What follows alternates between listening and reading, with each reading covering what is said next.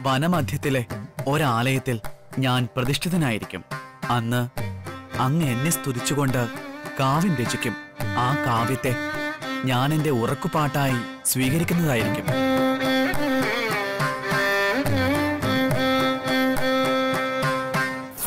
ശബരിമല സ്വാമി അയ്യപ്പൻ ഇന്ന് വൈകുന്നേരം ആറ് മുപ്പതിന് ഏഷ്യാനെറ്റിലും പിന്നെ എപ്പോഴും ഹോട്ട്സ്റ്റാറിലും.